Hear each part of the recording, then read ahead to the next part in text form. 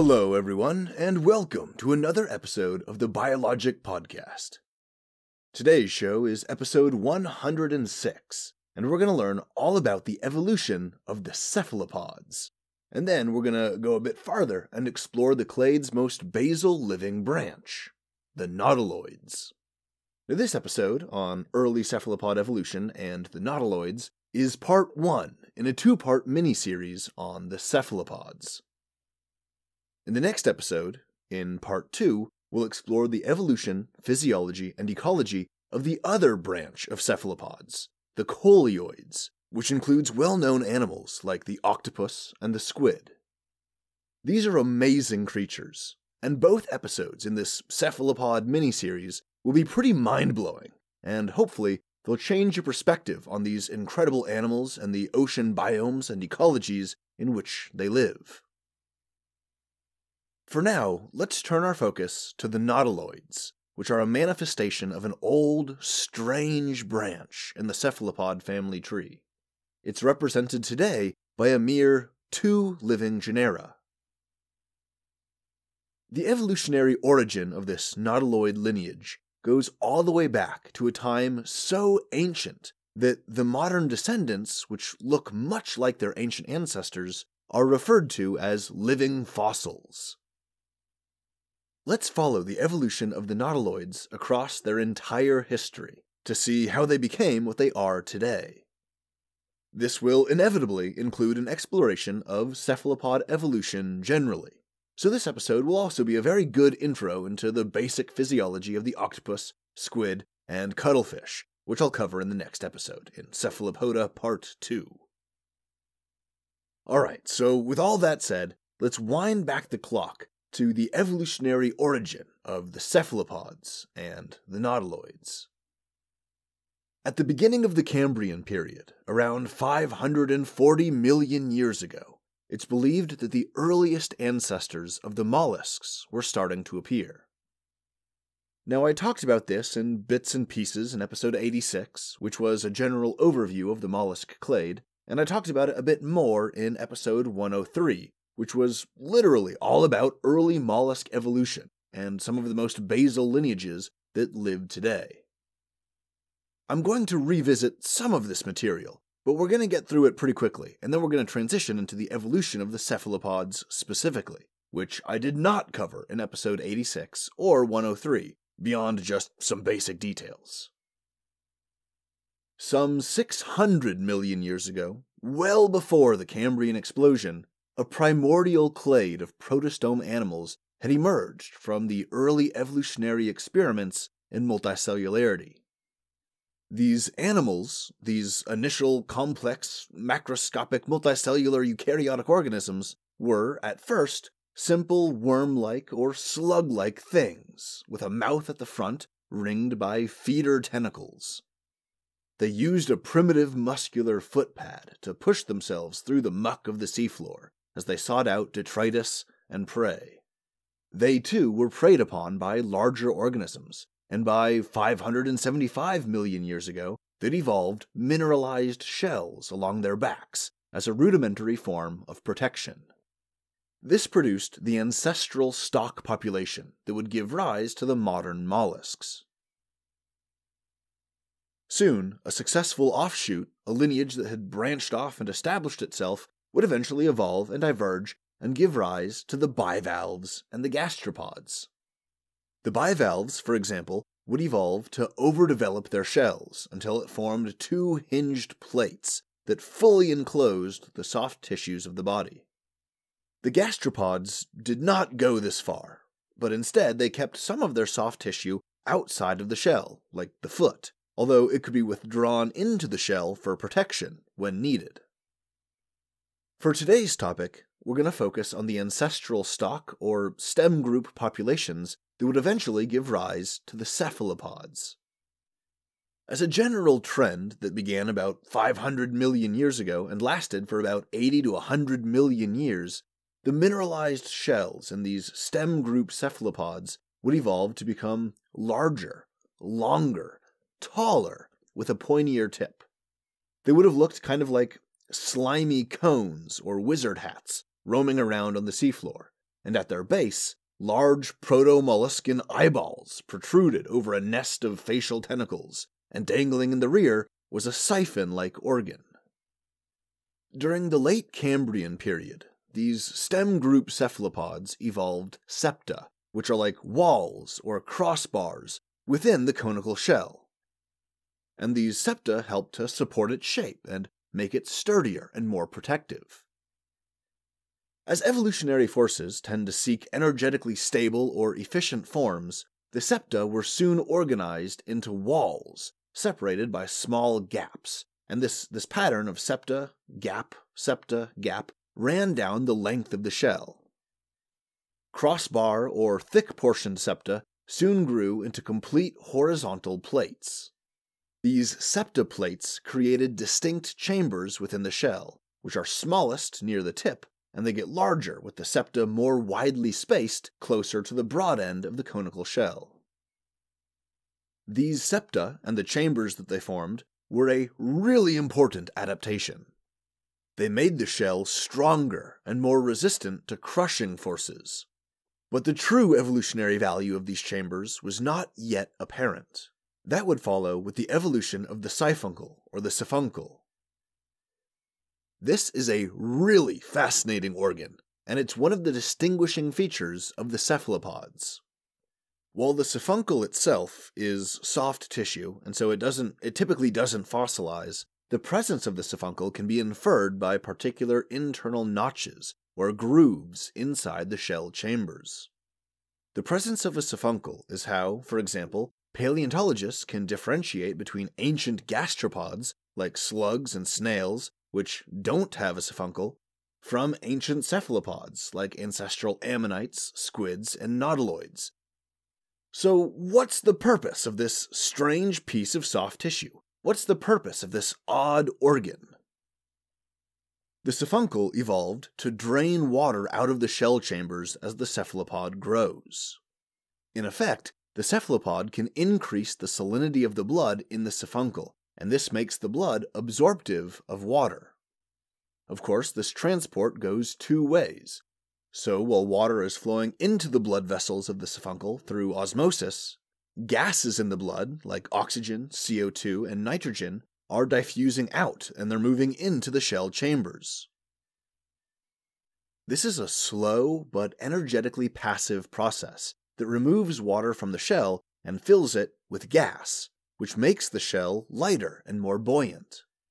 With the siphuncle, the shell can be turned into a static flotation device.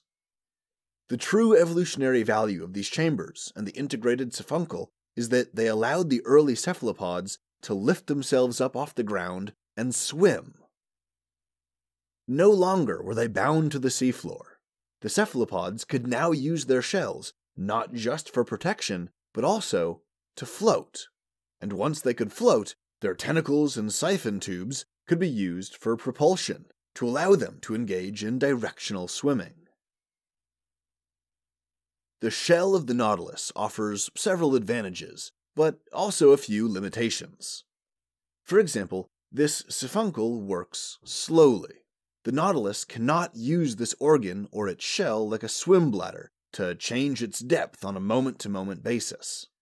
Changing the shell's buoyancy takes a long time, so the Nautilus is forced to find a suitable depth and then linger there for at least some time.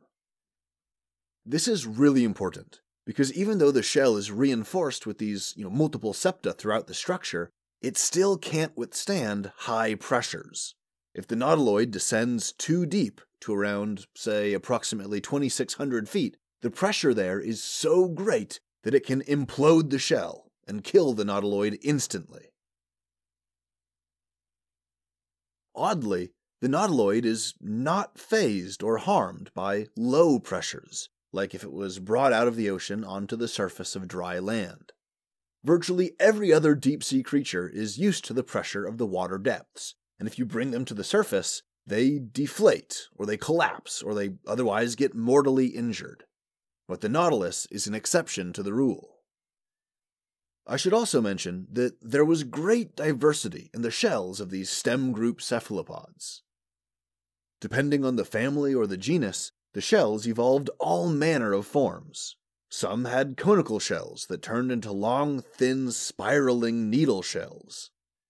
Others evolved more tube shaped or dome shaped cells, or cones that bent or curled or twisted, sometimes to the side, sometimes to the back, and sometimes they curled forward over the head. There's a handful of particular shell shapes, like a long, thin, spiraling cone or a coiled conch, which were independently evolved multiple times.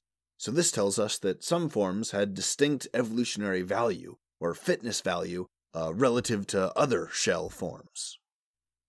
Those shell shapes that had greater advantages or greater fitness benefits or protective benefits or what have you, those were independently evolved more often. This is convergent evolution. Whereas those shells that were less effective or had uh, lesser fitness benefits, they may have still been evolved as part of some evolutionary experimentation, but over hundreds of thousands and millions of years, as selective pressures played themselves out and the fittest survived and outcompeted the others, many of these more obscure and cryptic and unusual shell shapes were phased out, and more stable forms, more evolutionarily optimized forms, persisted. In addition, these animals also evolved cameral deposits, which are buildups of mineral inside the shell, usually near the tip of the shell, so farther away from the body. And this acts as a counterbalance to the heavy, wet, fleshy tissue protruding out from the base of the shell. The cameral deposits weighed down the far tip of the shell so that the cephalopod could more easily orient itself horizontally, allowing the hydrodynamic shell to slice through the water as the cephalopod propelled itself with its siphons and its tentacles. This physical feature also helped to balance the cephalopod by bringing the center of gravity of the shell more towards the middle of the body. This improved the agility, the maneuverability, and the speed and efficiency of their swimming. A couple major examples of these early Cambrian cephalopods include the very primitive Plectronoceras and its kin, and descendant groups like the Ellesmerocerida. I mention the Ellesmerocerida here because among all of these very early shelled cephalopods that dominated the Cambrian period, all of them were wiped out in the end Cambrian extinction event. All of them, except for a small handful of Ellesmerocerida species. This small handful of survivors would become the founders of the nautiloid clade, which includes among its ranks the nautilids, the coleoids, and the ammonites. In other words, this small group of end Cambrian extinction survivors, these Ellesmerocerida, these basically became the crown group ancestors of the modern cephalopods. As the Ordovician period rolled around, these surviving Ellesmerocerida nautiloid clades expanded and diversified. They evolved thicker shells to better withstand the pressure of the water at greater and greater depths, which allowed them to colonize habitats deeper into the oceans and bring with them transformations to these primordial deep-water ecologies. During this period of recovery and diversification and ecological transformation after the end Cambrian extinction, two important clades emerged the orthocerids, and the oncocerids. Now, the oncocerids are really important to today's episode, but I'll get to them in a few minutes. First, I want to cover the orthocerids, because that'll let me wrap up a loose thread in this story of evolutionary history. The orthocerids emerged at the start of the Ordovician, around 480 to 485 million years ago. They had a long, tapering, cone like shell that was either straight or gently curved. There's some debate about whether or not they swam with the body axis horizontal or near vertical, which would imply different modes of hunting behavior. A horizontal orthocerid, for example, could be an active hunter that swims through the water, whereas a vertical orthocerid is more likely to be a slower moving scavenger, an ambusher, or some kind of hunter that prefers prey on the seafloor. From what I can tell, the consensus seems to be that the early orthocerids were more horizontally oriented, but sources differ. It's been argued that the orthocerids are actually a polyphyletic group, in which case there may have been enough diversity that some of the subclades were vertically oriented while others were horizontally oriented. It's hard to tell because early mollusk fossils are really rare and they're somewhat difficult to decipher, and the project of decoding their evolutionary history is still very much in progress. But despite the taxonomic complications, the grouping that we call the orthocerid clade is noteworthy because some paleontologists believe it to be the last common ancestor of the nautiloids and the coleoids, or the squid and the octopus. However, there are paleontologists who cite other evidence in the form of fossilized radulas and the shape of the first chamber in the shell to argue that orthocerids are more closely related to ammonites and coleoids than they are to the nautiloids, in which case they would not be the common ancestor. The common ancestor would have to have existed earlier, before the orthocerids. In this interpretation of the lineage, the orthocerids would have given rise to the Bactritida, a small order of straight shelled, mostly vertically oriented cephalopods. It's suspected that these Bactritida lurked near the seafloor where they hunted by stalking and ambushing prey. I mention these animals because they are the bridge between the earlier orthocerids and the species that would come later. It was through these Bactritida that the coleoids emerged, sometime in the early Carboniferous period, around 320 to 330 million years ago. In these coleoids, the body axis has fully transitioned to the horizontal, with the tentacles, mouth, and eyes all on one end, and the streamlined conical shell pointing off to the other end. This hydrodynamic shape made the coleoids even better swimmers, as they could now use their siphon jet system and pulsing flaps of their tentacles to propel the tip of their shell through the water, kind of like the prow of a ship. This adaptation for speed is a very important detail that you should keep in mind as we look closer at the slower, less agile nautiloids. Okay, this is all that I'm going to say about coleoid evolution for now. We'll come back to look at the coleoids again, starting at this point in their evolutionary history, in the next episode. This evolution of the coleoids, of the squid and the octopus, that was the loose thread that I wanted to wrap up. This clears the table of everything else but the nautiloids, and this is where that other group comes in. So we were talking about the crown group Ellesmerocerida, which gave rise to the orthocerids and the oncocerids. I just talked about the orthocerids and how they gave rise to the Bactritida and how they gave rise to the coleoids, so now it's time to look at the oncocerids, which are believed to be the direct ancestors of the modern nautilids. The oncocerids emerged near the middle of the Ordovician period, around 465 million years ago. They enjoyed shallow water habitats for much of the Ordovician, but they experienced a dramatic loss in biodiversity and abundance near the transition between the Ordovician and Silurian periods around 450 to 440 million years ago. Fortunately, this severe decline did not lead to their extinction. It was just a rather abrupt but temporary decline, and by the middle of the Silurian period, they had not just recovered, but had attained their greatest levels of biodiversity ever. One of the clades that emerged in this highly successful recovery, sometime in the middle to late Silurian, was the Rutoceratidae, which has been described by paleontologists as the, quote, root stock, unquote, of the modern nautilids. You'll notice that twice now I've said nautilids and not nautiloids. That's a subtle but important detail in the terminology. Before, we were talking about the nautiloids, which included groups like the squid and octopus coleoids and the extinct ammonites. But now that we've reached the Rutoceratidae in the late Silurian, we're talking only about the nautilids, of the order Nautilida, or Nautilida. Now, as the Silurian period dragged on, the Oncocerid lineages, including the Rutoceratidae, began to decline again. But for a second time, this decline did not lead to their extinction. Instead, they experienced a second resurgence, a second recovery, in the middle of the Devonian period, when they could compete with and prey upon all of the newfound vertebrate fish that had evolved and filled the seas. The fish had existed since the Cambrian, but they didn't evolve jaws until the Silurian period, and they would only achieve their golden age with unprecedented levels of biodiversity in the Devonian period, also known as the Age of Fish.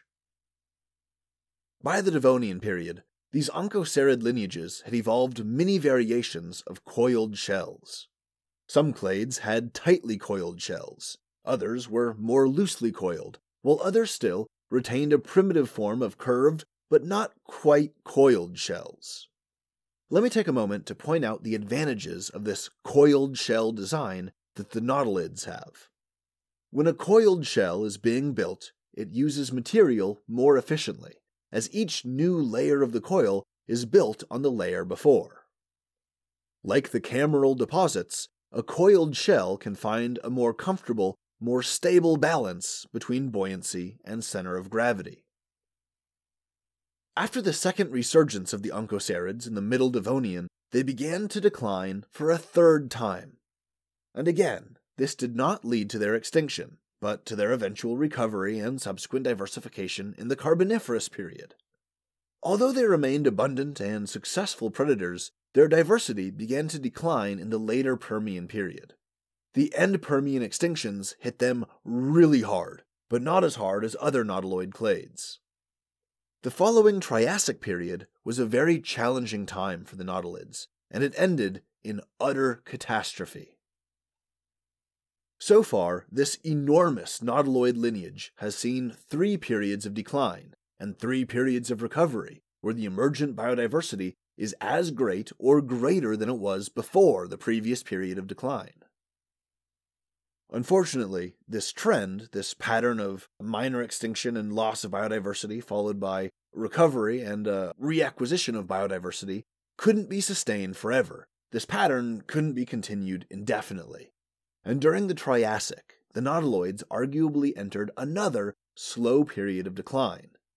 But this time, there was no recovery.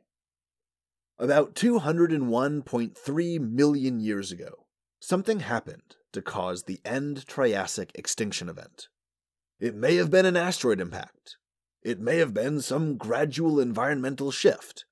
But recent evidence strongly points towards extensive volcanic activity in the Central Atlantic Magmatic Province. This was a region in central Pangaea that would go on to split apart and become the Atlantic Ocean. The volcanoes of the Central Atlantic Magmatic Province pumped out a colossal amount of CO2, altering the climate drastically and acidifying the oceans. Ultimately, this end Triassic extinction event, which so greatly resembled the, the causes and results of the end Permian Great Dying, well, this ultimately led to the end Triassic mass extinction event. This was an unmitigated disaster for the nautiloids, which were hit extremely hard and almost driven to the point of extinction. The ammonites, for example, were hit really hard, and they lost a ton of biodiversity, and they almost went extinct here, but they just barely managed to scrape by the nautilids experienced an even more harrowing fate. Of all of the lineages that had descended and evolved and diversified from the ancestral Rutoceratidae, of all of the families that diversified and proliferated, that struggled and fought for survival for a hundred million years across the late Devonian, the Carboniferous, and the Triassic, virtually all of them would go extinct at the end of the Triassic, with just one exception the Cenoceras genus. The cephalopods of the humble Cenoceras genus emerged in the mid to late Triassic, and they looked distinctly like the modern nautilus. They had the shell coiled up over their head, with a tentacle rimmed mouth and large fleshy eyes, and a diamond shaped head plate covering the gap between the top of the head and the curling shell. All nautilids that survive today are descendants of these Cenoceras nautilids, which were, again, the only ones that survived the end Triassic mass extinction. Now, there were some ups and downs for the nautilids after the Triassic, but they never came close to recovering their former Paleozoic biodiversity. In the next episode, I'll discuss the likely reason why, because it's actually a really important factor in general cephalopod evolution. I'll explain it in the next episode, mostly in the context of coleoid evolution. Anyway, in the modern day, there's only two surviving genera of the nautilid family the genus Nautilus, with four living species, and the genus Allonautilus, with just two living species. For a long time, these were thought to be sister clades, although recent evidence has suggested that the Allonautilus genus is actually descended from the Nautilus genus. Briefly, let's take a look at the surviving species. I mean, there's only six of them and then we'll dive into their ecology and lifestyle. So, to start, let's look at the four species in the Nautilus genus. These are the Nautilus belauensis, also known as the Palau nautilus, which lives near giant coral reefs in the western Pacific. It's a highly active, highly mobile nautilus that's mostly herbivorous, but it will eat animal prey when the opportunity presents itself. There's the Nautilus macromphalus, or the belly button nautilus, which lives nearby in the waters off the north or northeastern coast of Australia. And these are the smallest nautilus species, usually growing only around 16 centimeters in diameter, but they're occasionally capable of growing up to 10 or 11 times larger. There's the Nautilus stenomphalus, or the white patched nautilus, which lives in the Great Barrier Reef off the northeast coast of Australia. These are scavengers that tend to stay in deeper water, and they use their chemoreceptors to sniff out food due to the low levels of light and their poor eyesight. And then there's the Nautilus pompilius, also known as the chambered or the pearly nautilus. This is, by far, the most charismatic and most widespread nautilus, which can be found all over the South Pacific and as far north as Japan. It's even been suggested that the chambered nautilus is not one species, but may in fact be many different but closely related species. Now, the second genus, the Allonautilus genus, only has two species.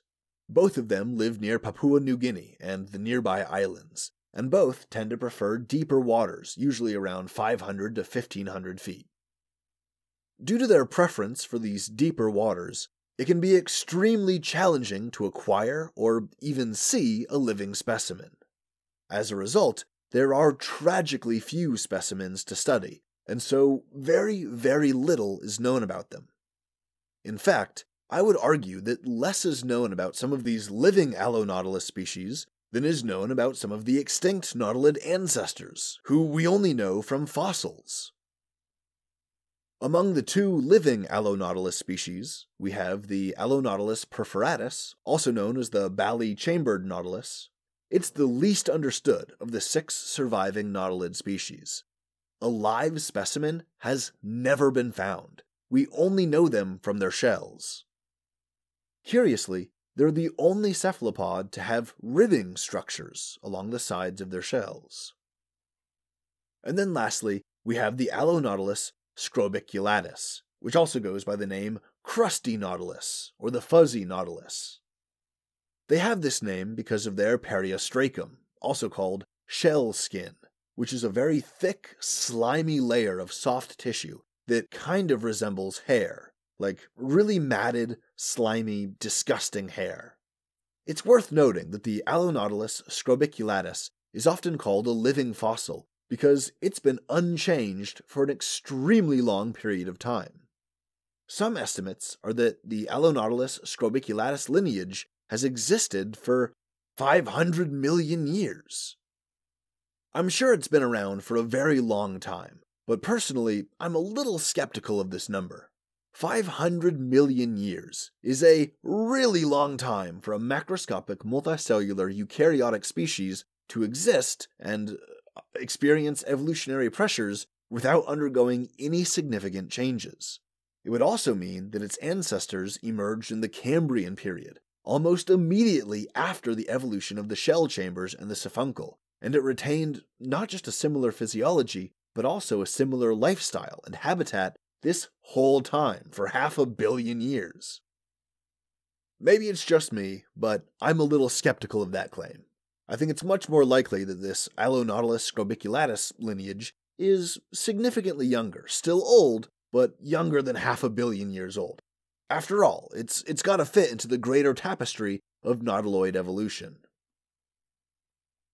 On this note, let's expand to look again at all of the modern Nautilus species. All of them are remarkably similar at a physiological level.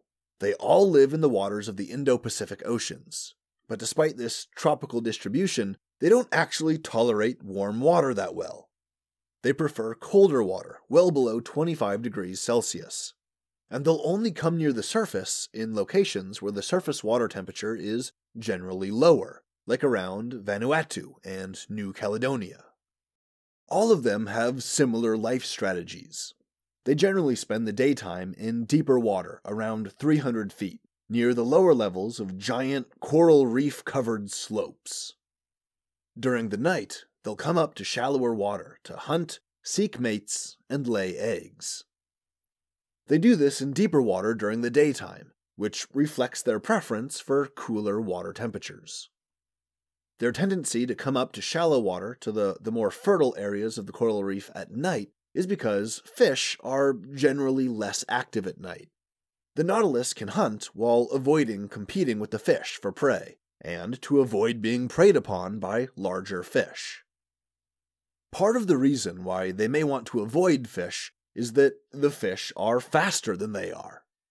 The coiled shell shape gives the nautilids some stability, but it's not designed for speed. The Nautilus evolved a jet propulsion system like the squid and the octopus and cuttlefish, but it's nowhere near as sophisticated or as effective. This means the Nautilus are relatively slow and not agile.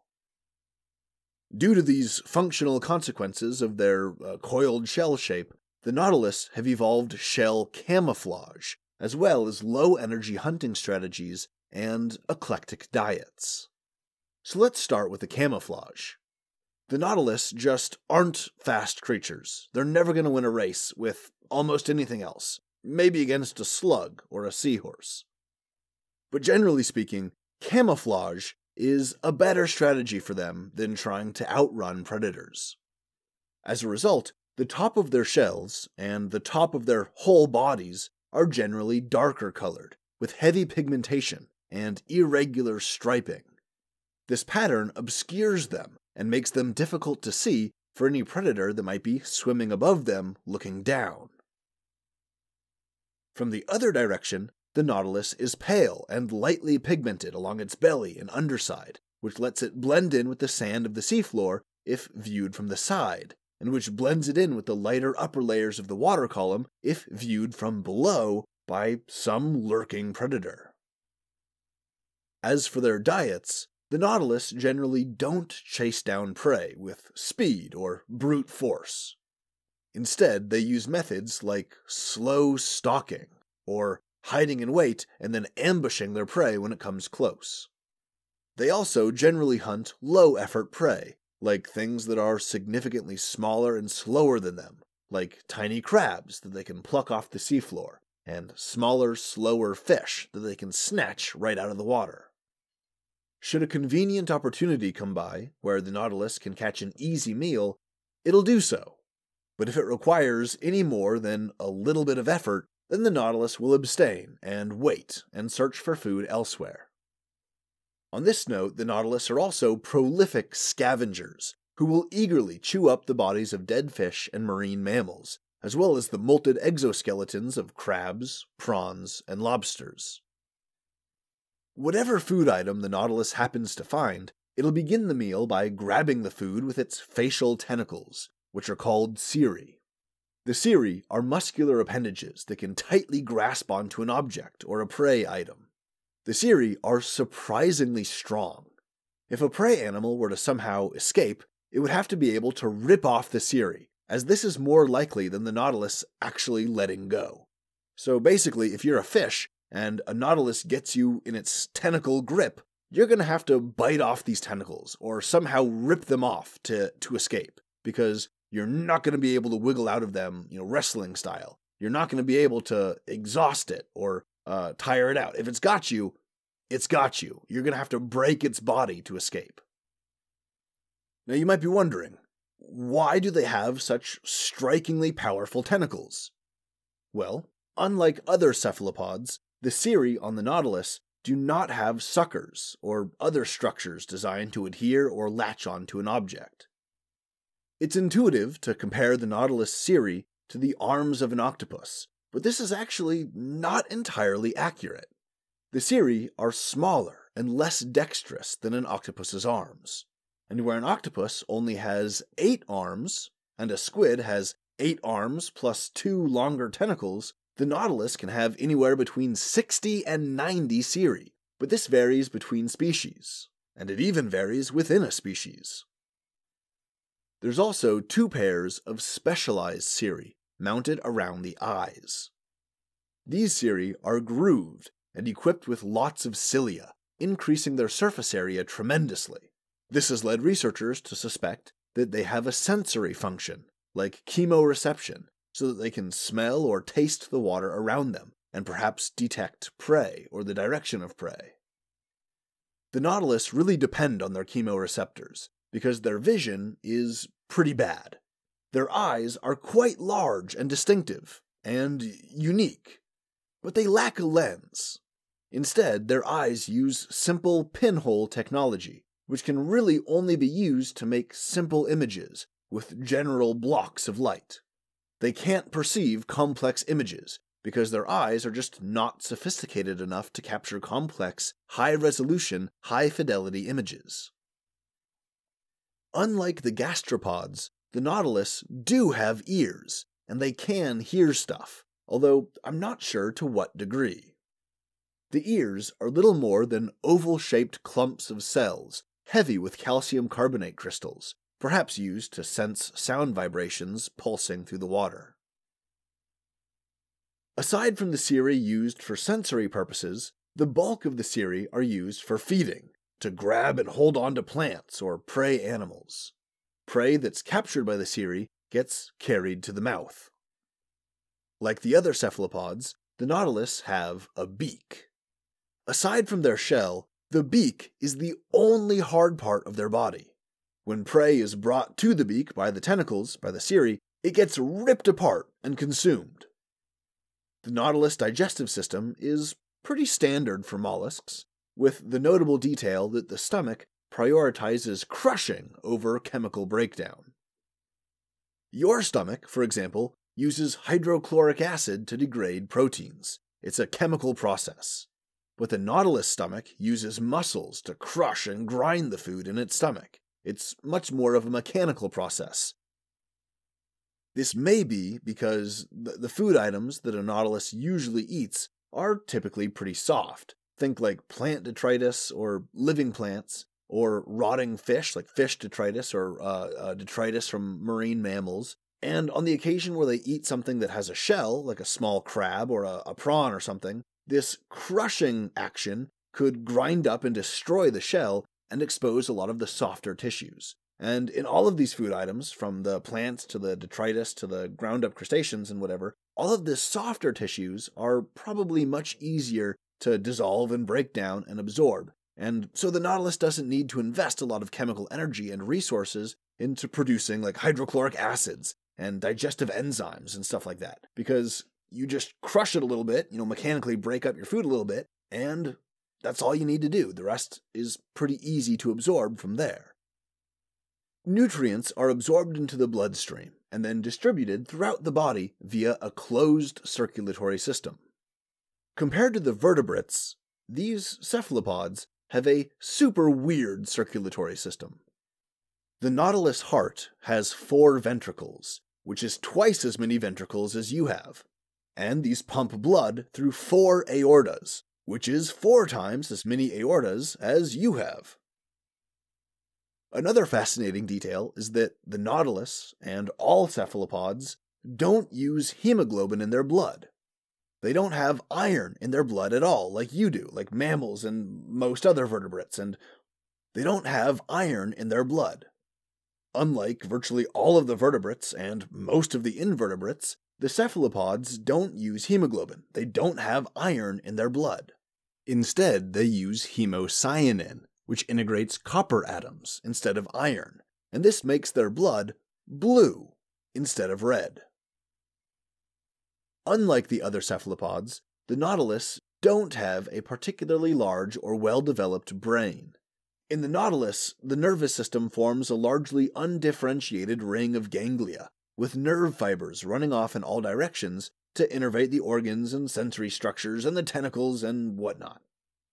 They have more long term memory than researchers initially assumed, but not by much, and they don't appear to have specialized brain regions. Or, I should say, they don't have specialized regions in the ring of ganglia that might be responsible for higher learning or abstract thought or something like that. Compared to their coleoid cousins, the Nautilus just aren't that intelligent. Although you could make a compelling case that this isn't a fair competition, because the coleoids, particularly some octopus, are among the smartest animals on the planet. However, the Nautilus make up for this intelligence deficit by having remarkably long lifespans, sometimes over 20 years in the wild, which is way longer than the lifespan of typical squids and octopus. This long lifespan is rather awkwardly proportioned, as the Nautilus takes up to 15 years to reach sexual maturity. On the topic of sex, the nautiluses are sexually dimorphic, both physiologically and in the population distribution. Females are relatively rare, while males appear to be overproduced, as they're extremely common in comparison to females.